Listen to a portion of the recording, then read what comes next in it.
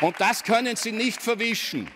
Und das lassen wir auch nicht zu, auch wenn Sie mit irgendeiner Rhetorik draußen die Bevölkerung adressieren, indem Sie in Wahrheit blau Putin-Propaganda, perverse Putin-Propaganda hier verbreiten. Und ich weiß schon, es wurde ja Herr Vizekanzler, Herr Vizekanzler, dieser Appell, den äh, der Herr Präsident äh, in seiner Vorsitzführung vorher an dieses Hohe Haus und an die Abgeordneten gerichtet haben, was trotz äh, dieser emotionalen Debatte, aber gerade an diesem Tag wie heute, wir auch unterschiedliche Meinungen respektvoll austragen müssen, der gilt auch für Sie. Und deshalb würde ich auch Sie ersuchen, sich sozusagen der Würde des Hauses entsprechend hier zu äußern und Ihre Meinung Meinung und Position auch so vorzutragen. Danke.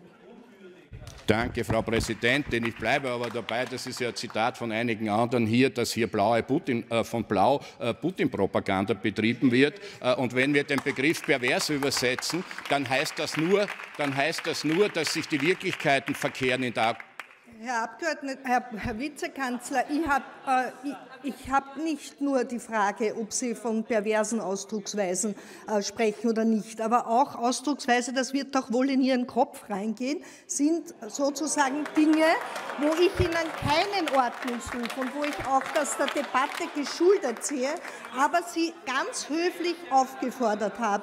Darf ich meine sehr geehrten Damen und Herren, ich bin wirklich der tiefsten Überzeugung, dass das heute ein besonderer Tag ist, nämlich ein ganz ein trauriger Jahrestag, den wir hier begehen.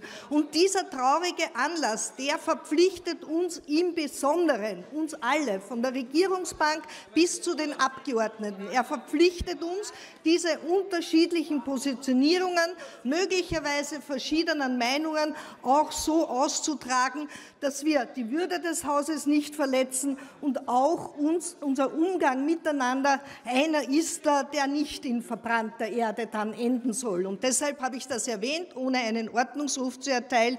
Und